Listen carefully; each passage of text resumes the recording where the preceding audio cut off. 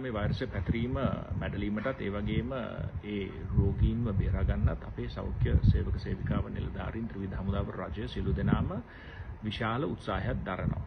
ඉතින් මේ වෛද්‍ය නිලධාරීන් සේවක සේවිකාවන් ත්‍රිවිධ හමුදාව ඔවුන්ගේ සෞඛ්‍යයට තියෙන තර්ජනය නොසලකා හැරලා අපි වෙනුවෙන් වැඩ කරද්දී ශ්‍රී ලාංකික පුරවැසියන් හැටියට අපිට විශේෂ වූ වගකීමක් තියෙනවා. ඔවුන්ට ඒ හරියමන් සහයෝගයක් දක්වන්න. පළමුවෙන්ම තමයි ඔවුන්ගේ සියලු අවවාද මඟ පෙන්වූ නීති රීති රෙගුලාසි ක්‍රමවේද අපි හරියට පිළිපදින්න ඕනේ.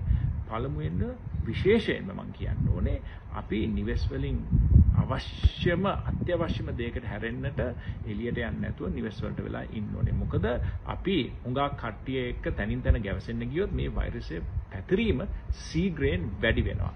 ඉතින් මේක ඉතාමත් භයානක වූ තත්ත්වයක්. අනිත් එක තමයි තමන් රෝග ලක්ෂණයක් තියෙනවා නම් කරුණාකරලා ගෙදර ඉන්න. ඊට පස්සේ දුරකථනයෙන් අමතල අවශ්‍ය සෞඛ්‍ය උපදෙස් ලබාගෙන රජයේ නිර්දේශිත වූ ඒ රෝහල් වලට ගිහිල්ලා අවශ්‍ය උපකාර ප්‍රතිකාර සත්කාර ලබා ගන්න.